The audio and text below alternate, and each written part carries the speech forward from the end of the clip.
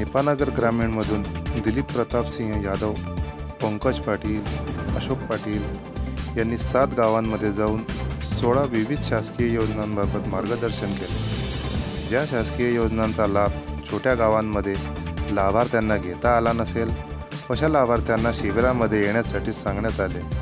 नावराच्या प्रीती चव्हाण यांनी मार्गदर्शन करून प्रचाराला सुरुवात केली.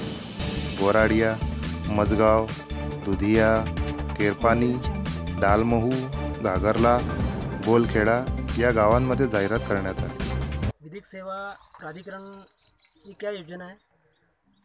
क्या है? हम लोग पेरा लीगल वॉल्टियर हैं नेपानगर ग्रामीण से। और विधिक सेवा प्राधिकरण के द्वारा जो गवर्नमेंट की योजनाएँ हैं ग्रामीण क्षेत्र में हितग्राहियों को नहीं मिल पा रही हैं।